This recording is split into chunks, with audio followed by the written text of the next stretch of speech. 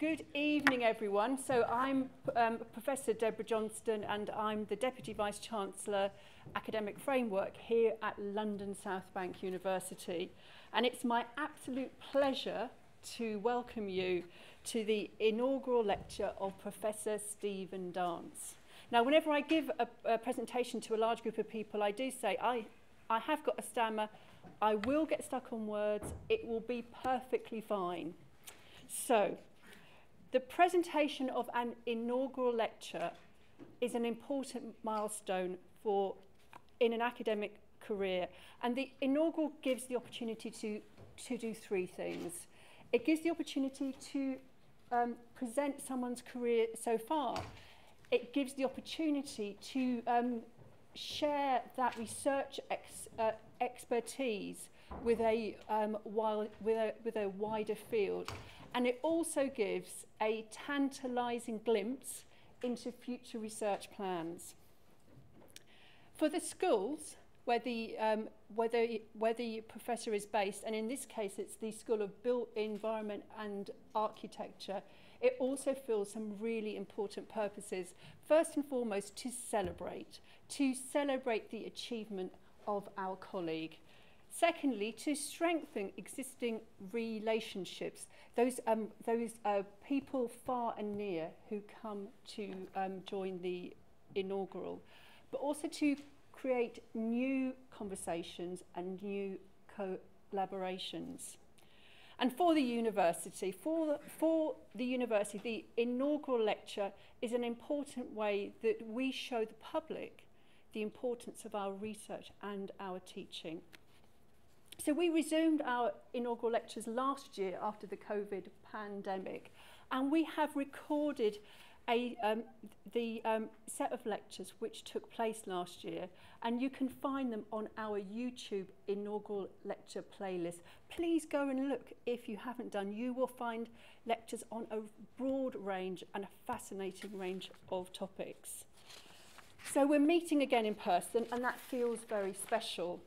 Um, while we don't have questions after the inaugural itself, in, in, our, in our reception, you do get the chance for that lively give and take of conversation that you can't get on, uh, on an online lecture.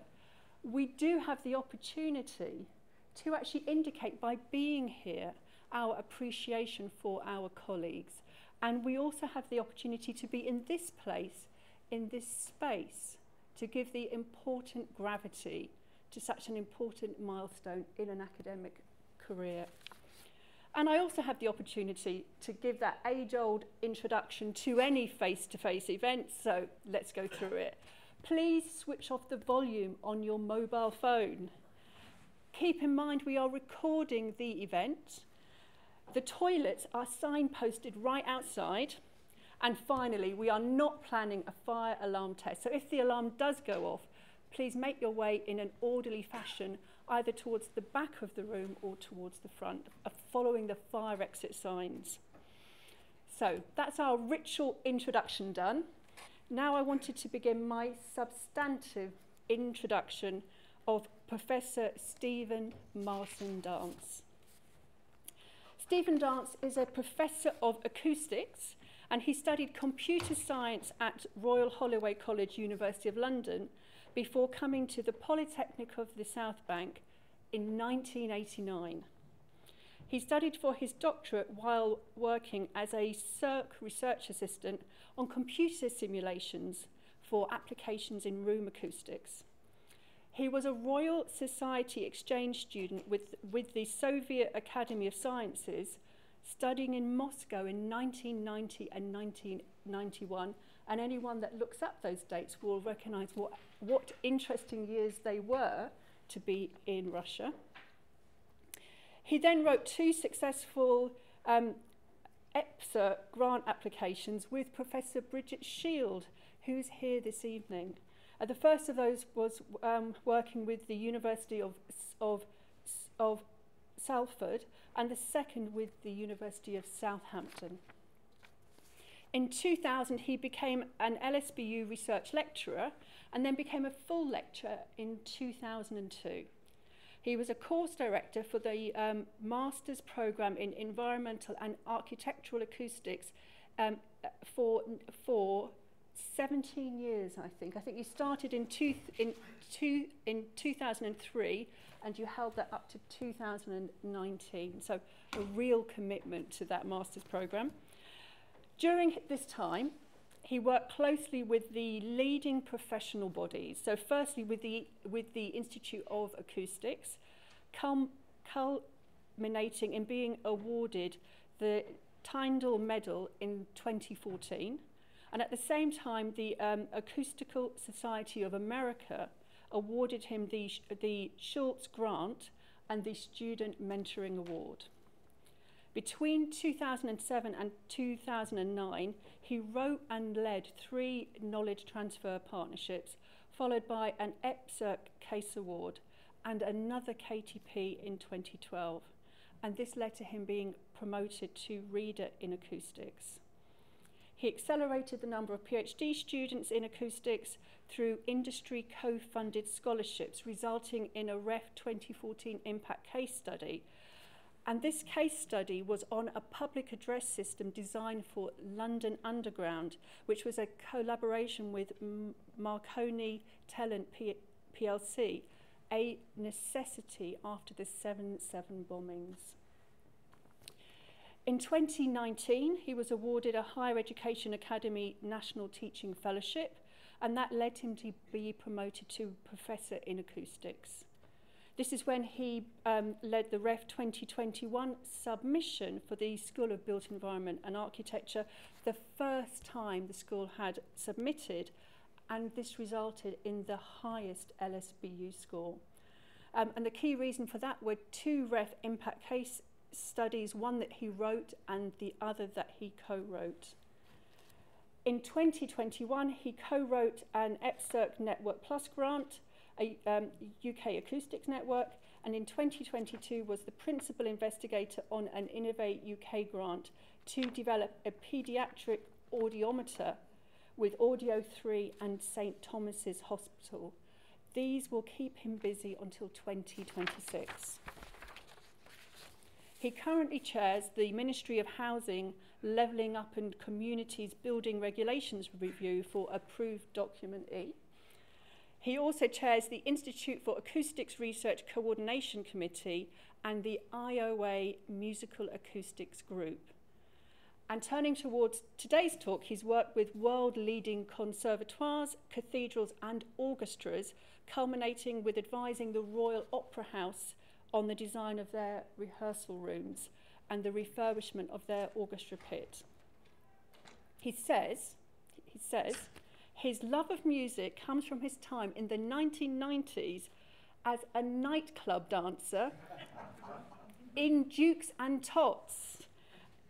In his own words, he is the original Essex boy. After winning 18 major grants over 30 years, he is most proud, most proud of his work with Foster and Partners on the design of Apple's new headquarters and his work with Anne Kyra Quinn, which ended up in the movie Prometheus. He says neither were funded by the, by the UK government. Recently, he produced two YouTube videos with the social media inf um, influencer Calyx on acoustics. This resulted in 18 million views and 20 million TikTok, sorry, 50 million TikTok views. I'll say that again 18 million YouTube views and 50 million TikTok views. So this led to a, a, a request from, K, from the KPMG leadership program for him to give two experiential lectures on, on acoustics to the CFOs, COOs and CTOs of FTSE 100 companies. Stephen says, it would be much easier to understand ac acoustics if it was called the study of oral communication. It is most fundamental to the human condition, as communication is everything we are, everything we could be and everything we should be. Unfortunately, scientists call it the scientific study of sound and vibration. Maybe not the best decision. So Professor Stephen Dance will now try and, and, and, and persuade us of the importance of acoustics. Stephen. Thank you. Thank you, Deborah. I'm hoping I'm in shot. Uh, I'm going to try and do this in 45 minutes, but it might take an hour because I decided you needed some demos.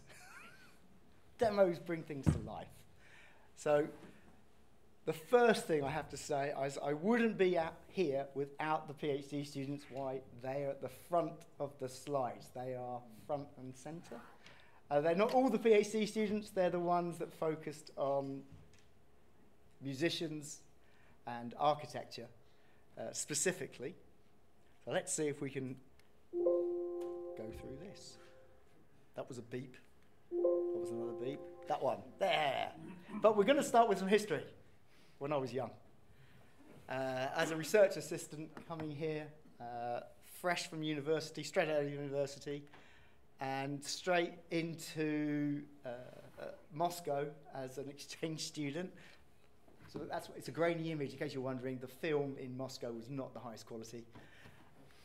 And then on to working with Salford University in 93, and then Southampton in 96 as a postdoc, and then I became an, an, SB, an S, I have to give the right names, you're going to see why in a minute, SBU uh, research lecturer, and then I became a full lecturer in engineering in 2002. But you can look at it from the other point of view and see what happened. So when I joined, we were called the Polytechnic of the South Bank, and I joined the Institute of Environmental Engineering, which then became South Bank University with that logo, and in the Department of Mechanical Engineering Design, which then in 2000 became London South Bank University. They changed the logo again, and was the School of Engineering. And then it became London South Bank University, the Faculty of Engineering, Science and Technology. And lastly, in 2014, oops, 2014, it became the School of the Built Environment and Architecture. So you can see there's quite a journey of, they keep changing the nameplates. it's the same people giving lectures to the same students. When I joined, what we taught was energy engineering. Very simple thing to understand, energy. People understand that. Now it's, then they changed it to building services engineering. I think energy engineering might be a better name. I think people are more concerned about that now. Uh, so I, as uh, Deborah said, I studied computer science. I used applied mathematics to the, uh, the issues around uh, acoustics, particularly room acoustics, uh, to create ray tracing. That is what ray tracing looks like. So when you see Avatar, that's what we were working on in 1990. And now it's photorealistic. That is what it looked like in 1990. Um, to do because computer science has got a lot more efficient. But I'm going to spend like six, seven, six or seven slides on all the other things I do that are not associated with musicians. because you don't realize the breadth of acoustics uh, and the issues brought up by acoustics. It's fundamentally uh, communication. So we've got electroacoustics, room acoustics, environmental acoustics, musical acoustics, acoustic materials and teaching of acoustics. So this is what we did for Ref 14 with London Underground and Marconi after the 7-7 bombings when they couldn't evacuate the deep underground. Moved into speech transmission and then it moved into indices which moved into classroom acoustics. But the work ended up in uh, Mecca and Medina. That's Medina. That's uh, Riyadh's underground uh, they just put it in, and hopefully, that's Mecca. So you need a public address system to evacuate, and that's the largest public, public address system ever built, and it's for about three million people. So that's where the research on London Underground ended up 10 years later, uh, but nothing to do with musicians. uh, in terms of room acoustics, we looked at open plan schools. We looked at the effect of the voice of classrooms. And now, with Alec just walked in the room, we're looking at tall creaking in tall buildings. That's the, uh, the Steinway, so there's a bit of music there. The Steinway building in Manhattan, in Midtown Manhattan, is extremely narrow. So it's 24 times taller than it is wide, i.e., land prices in Manhattan are extremely expensive. But unfortunately, the people who live there, who are extremely rich, don't like living there because it wakes them up in the middle of the night with the creaking. So that's called having an expensive, a rich client. This is the best kind of client. If you can work with these clients, this is what I tend to do work with the people with money. Uh, and then we've got 3D printing of models. So that's open plan schools, uh, the, the, the voice of the teacher, and us trying to work out what electroacoustics can do. Uh, this has become extremely important in higher education as we move now into hybrid teaching. So that means you don't have to turn up to class. Uh, useful if you're in China and you don't have to come to England to study, you get the same experience, but you can ask a question from the audience, you can hear the questions from the audience. And I think that's what they put in this room. The, these four panels above you are microphone arrays. Uh, we did that work in 2014. I didn't know until I, uh, until I walked into this room. You've installed it. Uh, and there we go. And that's, this is Bridget, the, uh, the building bulletin uh, 93, which is how to design classrooms. Doesn't apply to higher education rooms. It only applies to schools. And then we move on to music, but not the music we're going to talk about today, other, other types of music. So the effect of acoustics on singers' voices, the, the, the, the problem we have with uh, Sitzprobe rehearsals, that was at the, the Royal Opera House. Uh, there's a, a massive iron curtain, literally an iron curtain, but unfortunately there's only two metres left of the stage, and therefore you're very close to the orchestra. when you should be five metres back, because that's where mid stage is. Uh, so we're trying to deal with that. We're looking at the opera singers and how they use their voices. And uh, with St Paul's Cathedral, we're looking at the sound exposure of the choristers. Luckily, they only do 32 weeks a year because they're school children. That's useful. Uh, and that's the choral rehearsal room at the Royal Opera House, where we're uh, trying to adapt it to improve the acoustic for the professional singers. Then we move on to environmental acoustics. This is urban wind turbines. We started this in 2007 because we knew Elephant was going to knock down its buildings. They are now all knocked down. and we put wind turbines on them to see how they performed. Uh, not particularly well, uh, but Strata went ahead and built the what I, uh, what I call the shaver, and uh, you get planning permission for demonstrating uh, renewable energy uh, so they got planning permission and then turned off the wind turbines. Uh, not because they annoyed the people, it was the maintenance cost of running a mechanical system. It was a prototype system designed in Norway and it had, a, well, a many, many cutout issues because they didn't want any safety concerns. So it kept cutting out and stopping, and then they'd have to come from Norway to restart it. So a terrible design. Uh, then we did the quiet, the London heliport. Hang on, here's London heliport. Let's start doing London heliport. There you go. That's where uh, the government decided in the 1950s that the vertical gateway to London should be in Battersea because there was nothing in Battersea because they moved the docks out to the east of London, uh, and there was nothing there. Ideal place for a heliport. And then the local council, let's call them Wandsworth, decided to give planning consent to bigger and bigger buildings nearer and nearer the heliport. And thus, people very annoyed by a heliport. Uh, so, not the smartest thing they could have done.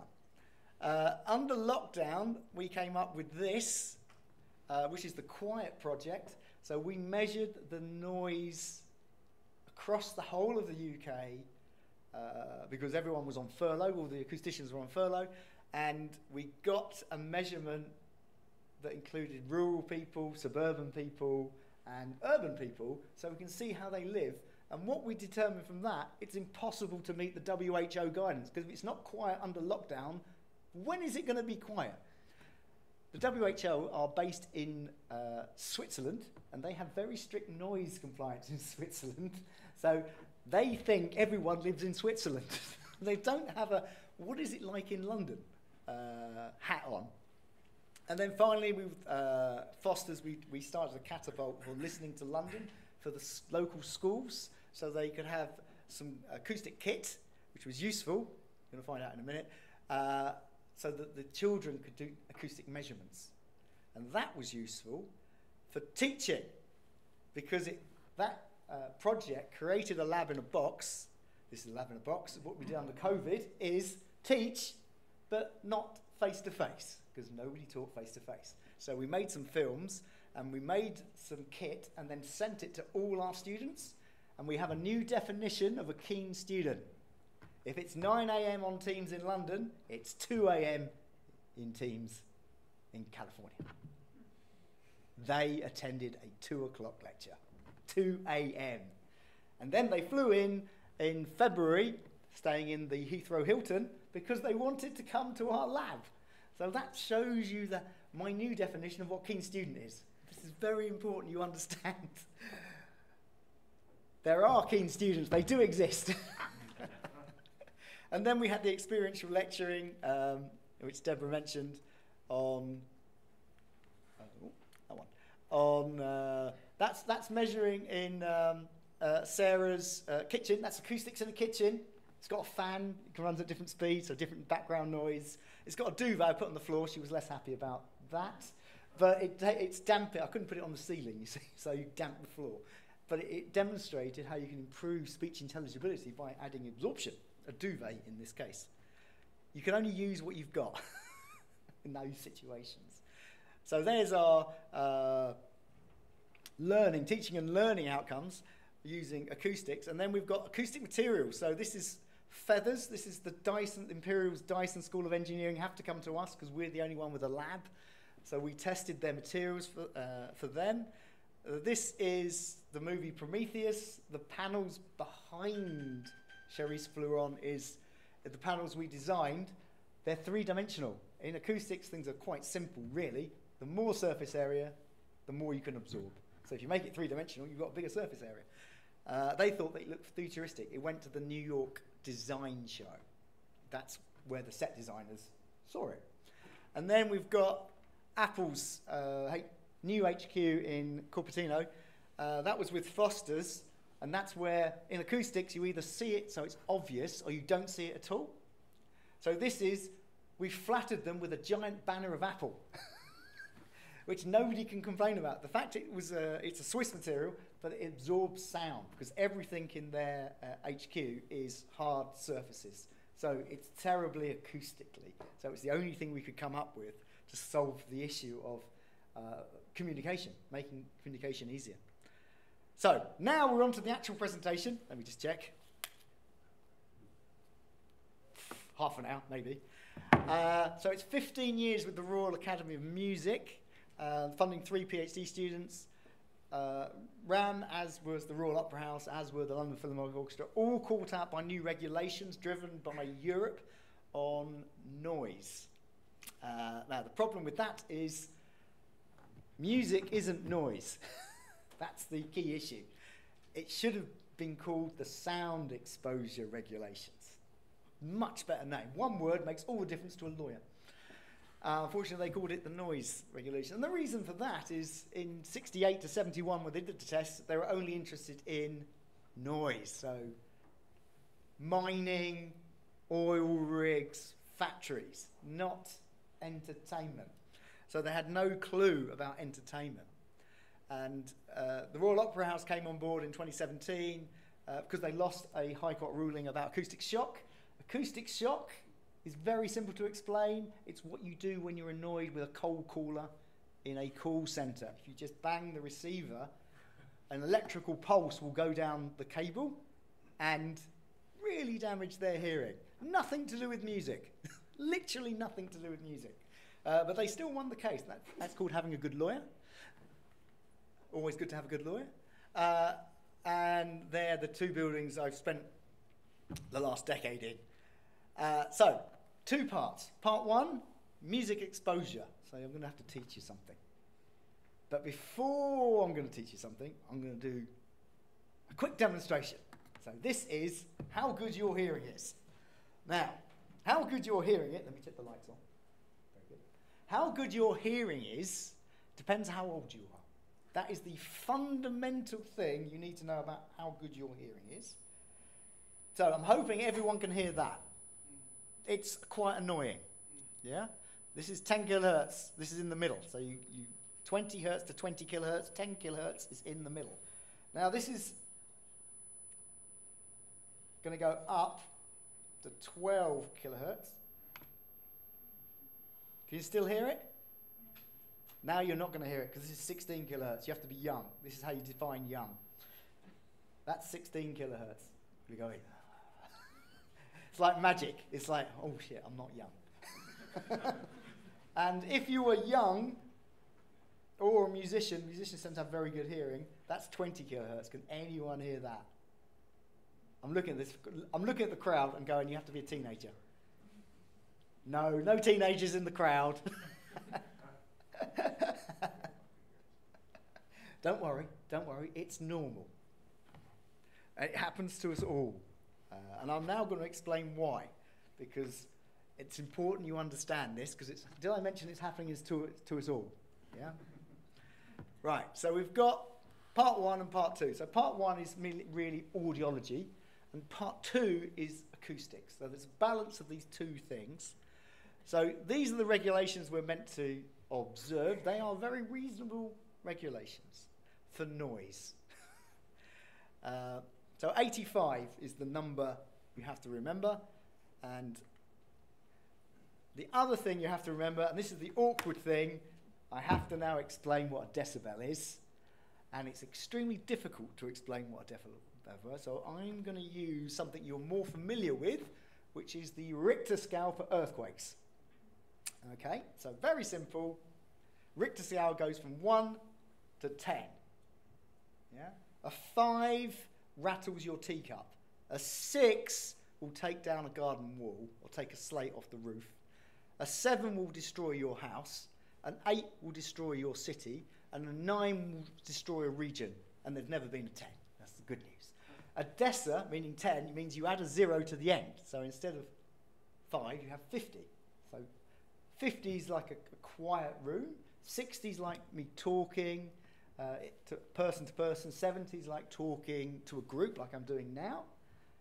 And so you can see where 85 is. So 85 is like a busy bar. Yeah, that's what they're expecting. But it's over an eight hour day. So it's a lot of averaging. Yeah. And then I'm going to put, so I'm going to use my pointer. Look, this is eight hours. And then you're allowed over 40 hours as well. But this number is the important. And, it hides a multitude of sins, this decibel. Because 88, which is a bit more than 85, as you probably think, a bit more, is actually twice, twice the energy. Yeah, that's why it's an exponential system. So that's why you can hide quite a lot of things in a decibel. So that is what normal uh, long hair cells in a cochlea look like, and that is what they look like after they've been damaged. After they've been damaged, they are gone. You're not getting them back, they are gone. Yeah? So it's a permanent effect. This is a rifleman, so thing, thing to remember one, don't shoot a rifle. Don't be anywhere near a tank or a cannon. In case you're wondering, where am I ever going to be near in a tank or a cannon? It's the airbag in your car. It explodes in your face. You're not dead. Good. But you are uh, temporarily deafened by the airbag because it exploded in your face. In case you're wondering where, where this might happen. Don't worry, musicians have done more stupid things. Water skiing, don't take up water skiing. You crash at water at 30 miles an hour, you're hitting concrete, it goes in your ear, it destroys your eardrum. So water skiing is off. No water skiing. That's clear. No thinking you're uh, Mr. Daley and diving off the side of a yacht in the Aegean Sea, slightly drunk. that also doesn't work. These are the excuses musicians have come up with. Yeah? So things can go wrong, is what we're saying. But if you just are careful, it will be fine.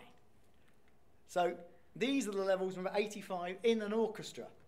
So you can see The violins and the violas, 80, 82, they never complain.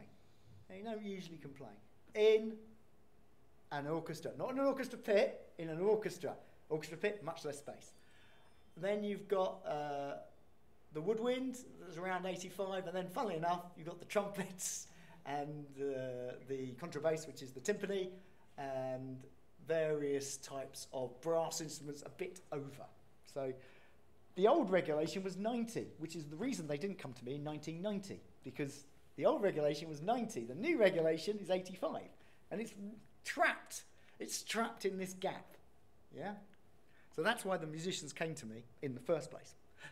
So with the Royal Academy, what we did, because we've got a lot of tame students, they do exactly what you ask them to do in the first three weeks. That's when you've got a student, the first three weeks of a course. After that, they've got a mind of their own. Before that, they do exactly what you tell them. It's brilliant.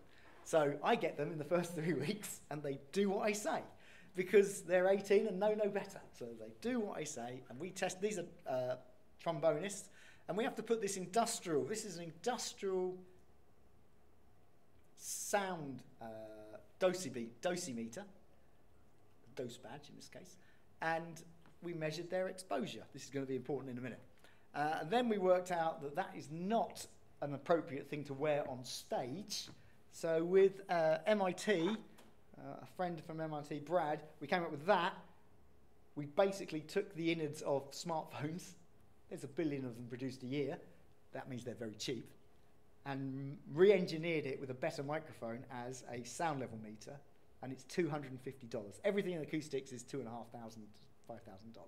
So that is a great uh, benefit to us because it's very small which means people are prepared to wear it. Um, we've just started the Innovate UK project with the, with the uh, pedi pediatric audiom audiometry. This is the interesting thing. So this is when I get rid of the decibel and replace it with a percentage. This is the interesting thing. So that is what you're allowed. They're over here, yeah? And what's over here? The trumpet. Well, we're not shocked. And then the trumpet. And the, the soprano's third. Yeah, the soprano's quite loud. This is over a course of a day at the uh, academy, what they typically do in a day. Uh, so you can see the, the pianists are pretty good. And the, the, the, the, the baritone, the singer, baritone singer is quite good. Uh, but the brass are the ones, the, the normal suspects. That's what I'm going to call them. the Normal suspects. The problem is we're allowed 100%. If you stretch it a bit, 167%. They're at 1600 to 2600%. It's not close. it's not. Uh, can we get away with it? It is. They should all be deaf. they do this every day. They do it when they're not being paid to do it. They do it as a hobby. They do it as a vocation. They don't stop doing it, they just keep doing it. They're obsessive people because they're perfectionists. So I said, well, if we've got this, they should all be deaf. According to all the government standards. And so we, go to, we went to test them. So this is George. We tested it. George started, then Ben, then Doug, then Eric.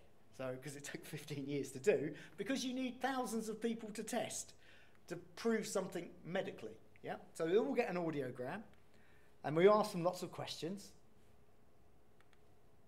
And then this is what the government think they should all be, because the, they're all 18, 18 to 25, they're all young. So they should all be there with their hearing loss, and that is not what we found.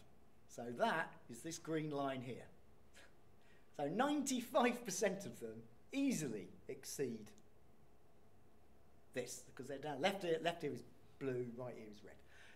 So you end up with these people down here who actually outscore the machine. The most sensitive machine we can make, their hearing is better than the machine down here. And they're all half of them have negative hearing loss. Now, for those familiar with English, that means they have hearing gain. That is what they're suffering from. That means London must be incredibly loud to them. Yeah?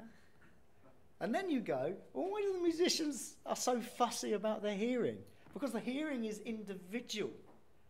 Only you know what you hear. Yeah? So, and they complain the hearing's not as good as it used to be. Well, nothing as good as it used to be. That's life. but yeah, they used to be, I call these, the ones with hearing gain, angels. Half of them are angels. Their hearing is off the scale. And then, as you get older, as you get to 40s, 50s, I tell them their hearing is an 18 year old. And that makes everyone very happy when I tell them they're an 18 year old. Because flattery does work. But according to the government, that's what their hearing is. So they have fantastic hearing.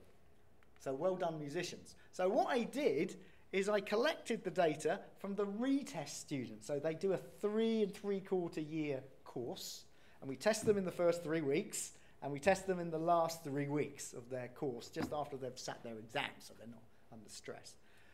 And these are so more strings as you'd expect: woodwind, brass, piano, jazz, vocal.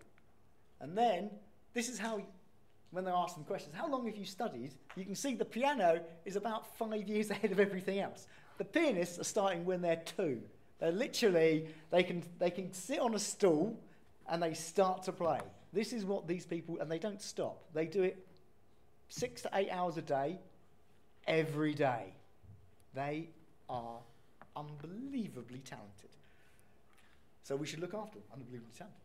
So this, I put them into groups and got the average dose for the groups for these 229 people. And then I put them on this chart because I like this chart.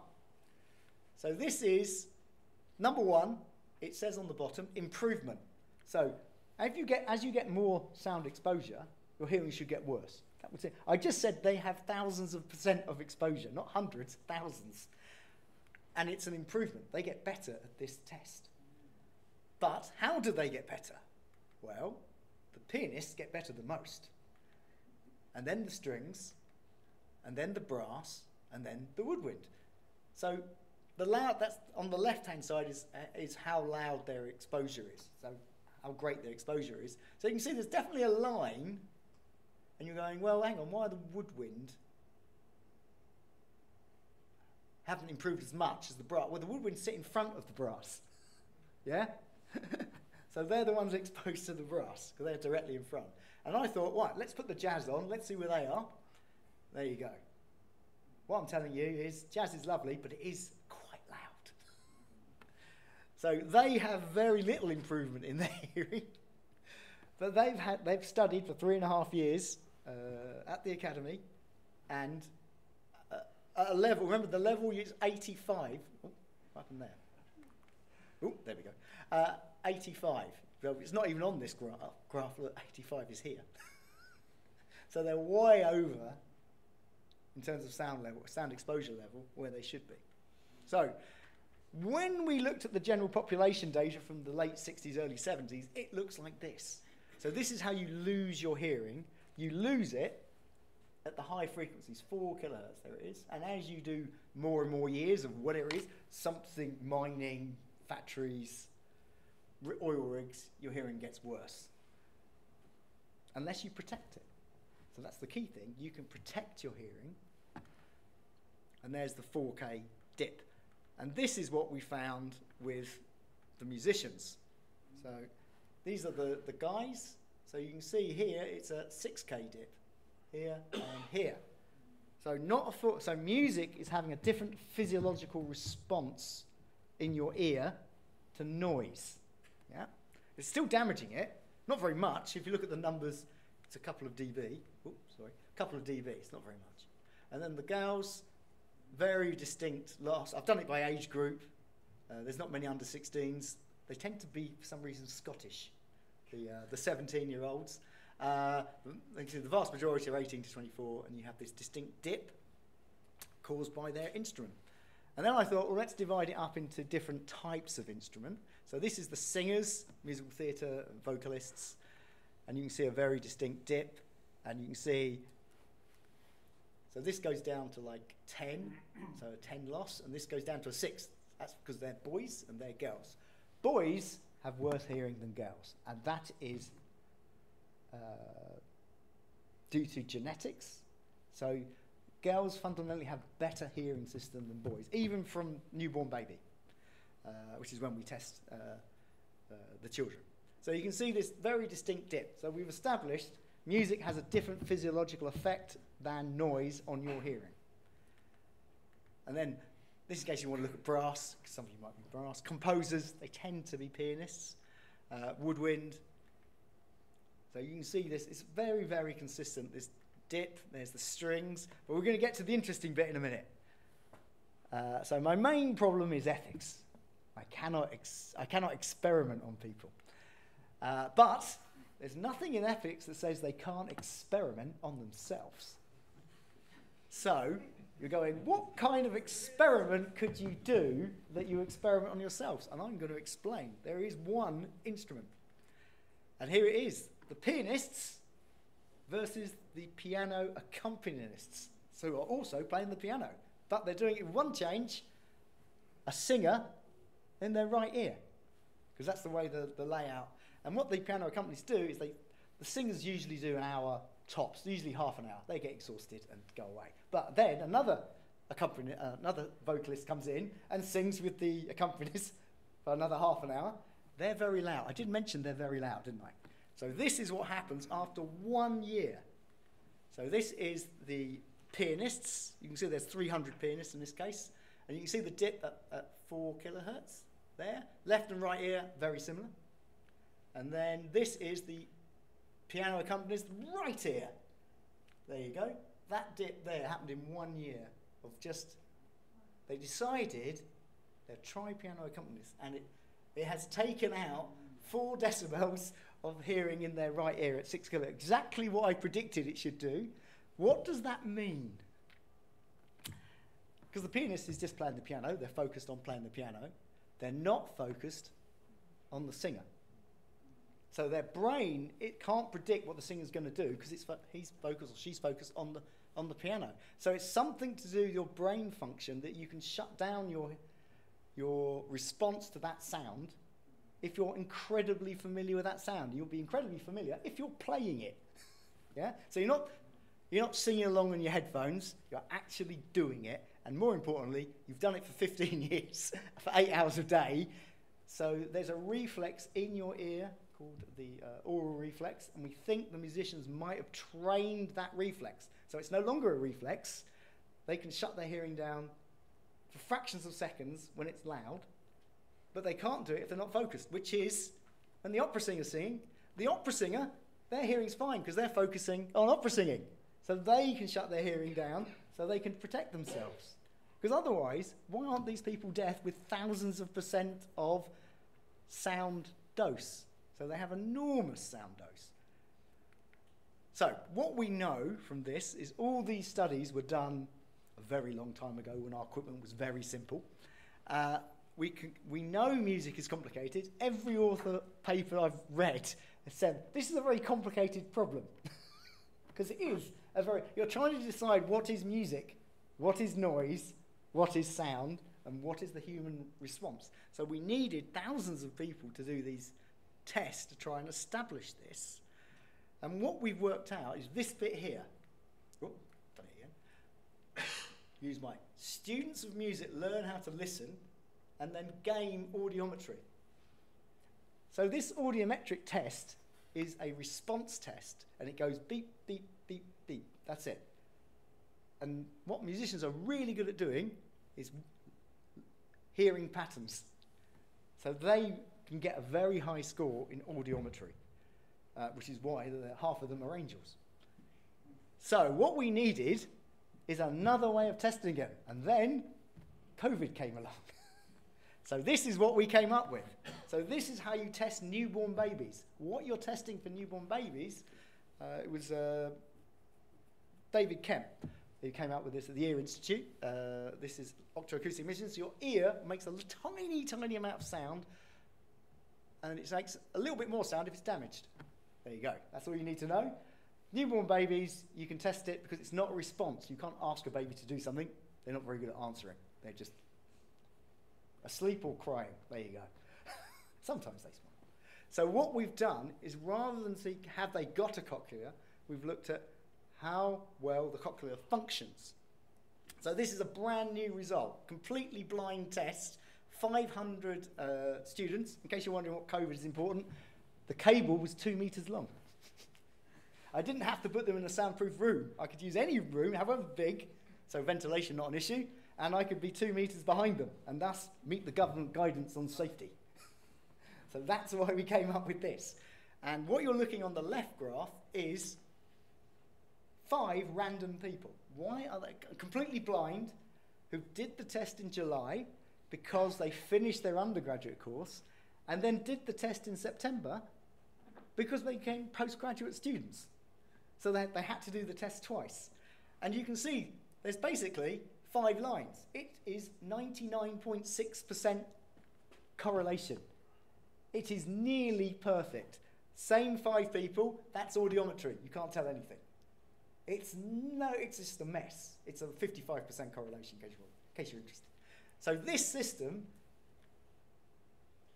is safer, more portable, more robust, quicker, and we think it should be the new standard in hearing assessment. Unfortunately, getting the medical uh, profession to move forward in any direction, you need more data. So uh, obviously I'm going to collect more data uh, to, to prove this. So the next, hang on, we're on to part two. We're on part two now. The next bit. How, hang on, how are we doing time? Right, if I can do it in 15 minutes, we're perfect. Right, so this is three ways of helping uh, three different uh, areas of classical music. So we've got the Royal Academy, Henry Wood Hall, and the Royal Opera House. So we start off with the sound absorbing mirrors. So this is the sound absorbing mirror. It came from, remember my time right at the beginning? The Soviet space program? If you wrap a uh, satellite in uh, reflective material, one, it has to be extremely light because you, you're putting it in space and weight matters, but it has to reflect so you can keep the temperature of the satellite even. Yeah? So we happen to have some of this material lying around, don't know why. Could never find any more of it, but we made a sound absorbing mirror. And this is the, the first one we made. It is a mirror. What does it do? Why is this important, the sound absorbing mirror? Because it absorbs the noise and reflects the music in case you wonder, how does it do that? Noise is low frequency sounds, tends to be low frequency sounds, and the attack of an instrument tends to be high frequency sounds. So it reflects the high frequencies and absorbs the low frequencies. So we can improve the exposure. Remember, these people stand in front of a mirror and just play their instrument for hours. That's all they do. So we managed to get three, three decibels off. Let's let's call it halving because it sounds better halving their sound exposure. And that's it at the Royal Academy of Music. We put four in uh, as tested in the lab. What was funny in the lab, that was prototype run. I, the musicians really liked it, and the reason is it's heat shrunk material. And I didn't, I didn't cross brace the frame because it's heat shrunk, it pulls the middle in, so it made you look thinner. That's why it was popular. number one. it wasn't done deliberately. I was like, oh, I should have cross-braced that. Uh, and that's how you test it in our, in our lab, in our acoustics lab. The, uh, you need 10 square meters, so we made 10 square meters. That's the same material without the silver wrapping, the heat shrunk mylar it's called, type of material. And that's its performance. The key thing, so the green one is, the, is, is basically uh, wall insulation. So in every building you'll find this wall insulation in the northern hemisphere. And the, the red one is the reflection so of, of the mirror. So you can see it's not absorbing the sound at high frequency. And therefore the musicians liked it. If you, we tried duvets, because you tried the simplest thing first, and it, it, it, it, it, it kills the sound, and they hated it. And I said, okay, so that's not the solution. Because you always try the simplest thing first. That's the golden rule in life. Try the simplest. What do they respond? And then that tells you what you need to do. Uh, so we've got 2.5 dB reduction for brass, strings, and woodwind players. Now, we move on to Henry Wood Hall. So things got interesting. This is with Doug. this is a beautiful uh, church converted in the early 70s into a uh, music rehearsal space for London's orchestras, and it's literally five minutes walk from here. It's a lovely square called Trinity Square. Definitely go and visit it. It is a lovely part of Borough. Uh, it looks like that. In the snow, admittedly, and it looks like that on the inside. So it's, it's not for an audience, it's just purely for the orchestra. And what we did is this. We took some airbeds. Remember I said take the simplest thing possible? Simplest thing possible is airbeds. 30 pounds. They are absorbers.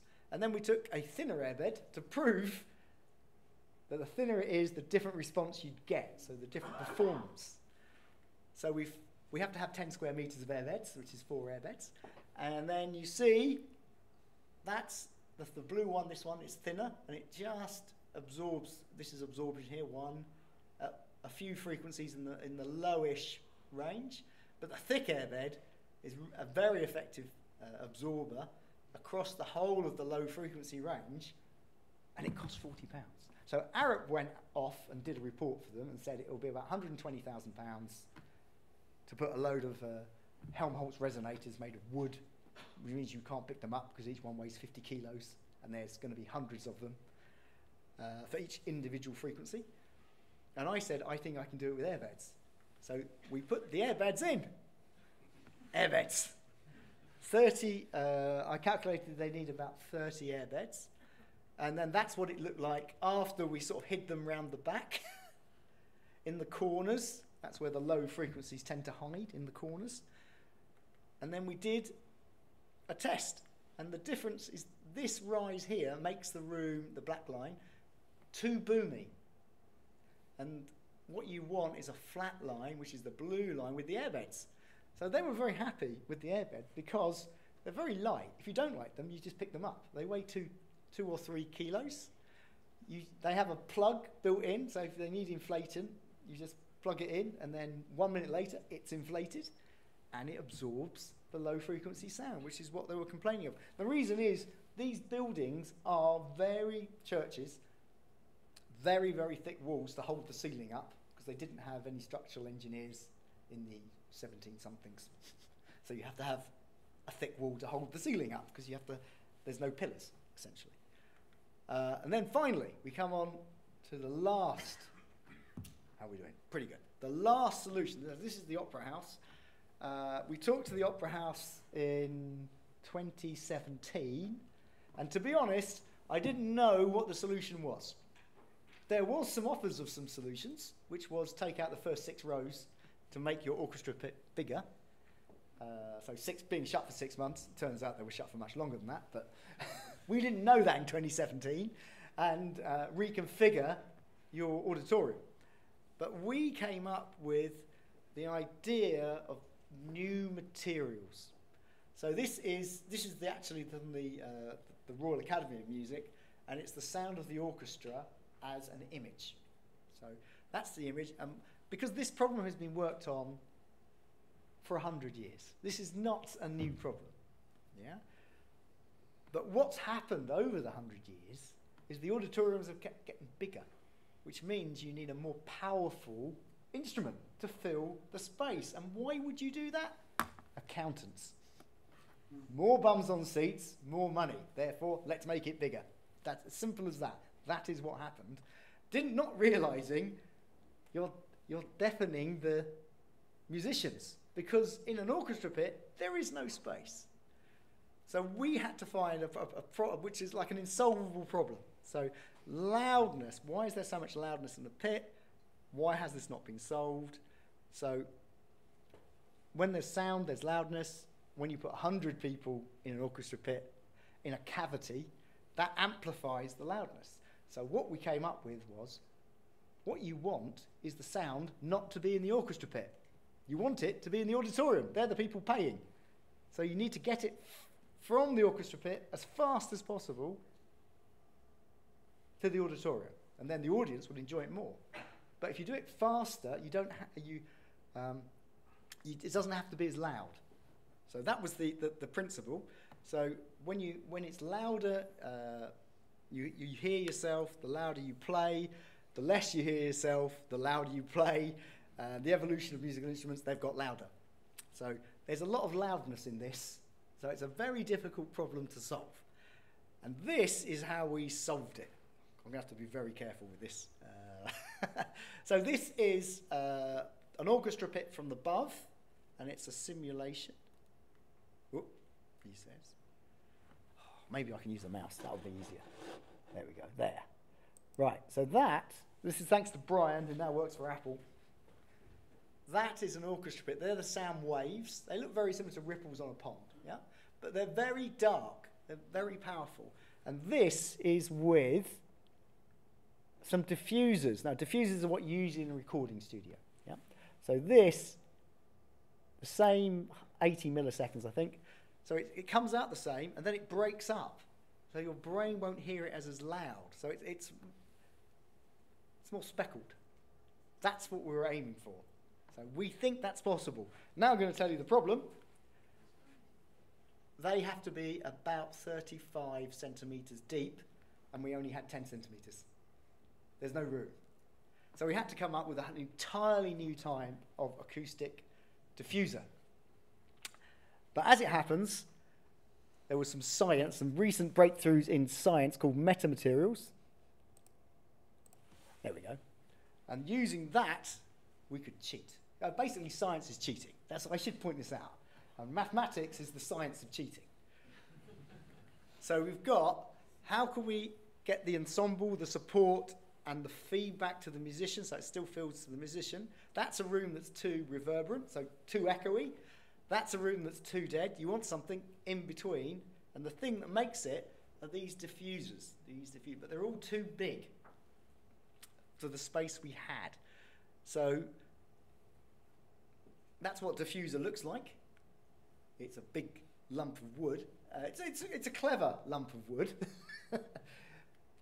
because it breaks up the sound. And that's what we were interested in. So we need an unconventional treatment.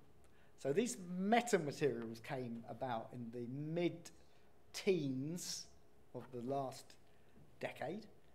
So it's very new. And they're usually used for antennae, for electro uh, communication.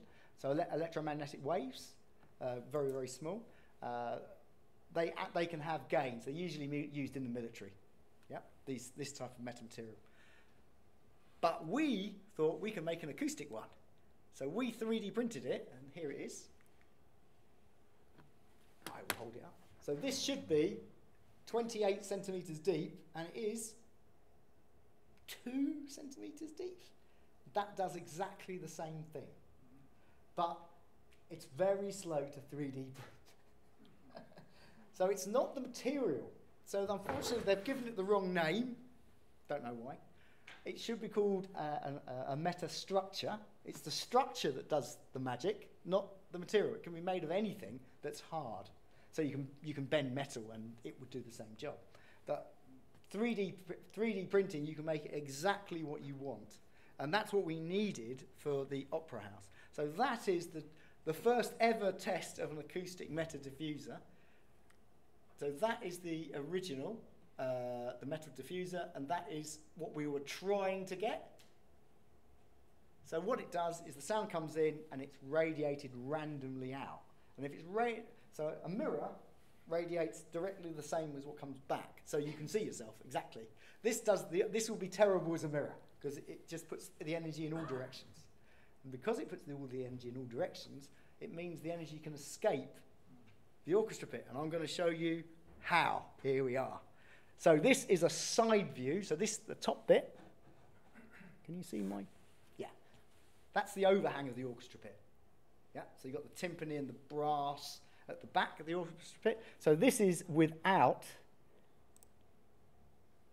And unfortunately, where the two uh, wave fronts combine is exactly where somebody's ear is. you, you, you, imagine the timpani, you're sitting down, it's about 2.2 meters, you're sitting down, you're about 1.1 meters where your ear is. It's exactly the wrong place. So it'd be better if they stood up. That's why I say if they stood up, it would make a difference because you wouldn't be in the middle. And then this is with the diffusers. So you can look at the, how it breaks up very, very quickly. In, in 20 milliseconds, it's completely broken up. So the sound has escaped. And that means it won't be loud because your brain integrates sound over, over a time period. So we can get the sound to escape very, very quickly, and therefore it will appear loud to the musician, but not in a dangerous way because it's spread over time. Yeah? So we're spreading the energy over time rather than all being hit at once. Yeah, it's like pushing at somebody rather than hitting them in the face. Same amount of force, but the impact time is much, much shorter being hit in the face. So, this is where we are with this design. We think it will work. We think it's going to go into the Royal Academy before it goes into the Royal Opera House. One, the Academy's pit is even smaller, and therefore it will be easier to install it. And two, you can do whatever you like with students. The reason is the regulations are for employees. Can you see a flaw in the regulations? no. So obviously the, the professional musicians are all employees. The students are not employees. Therefore, they are not covered by the regulation. There's a few things that need to be sorted out with the government. That's all I'm saying.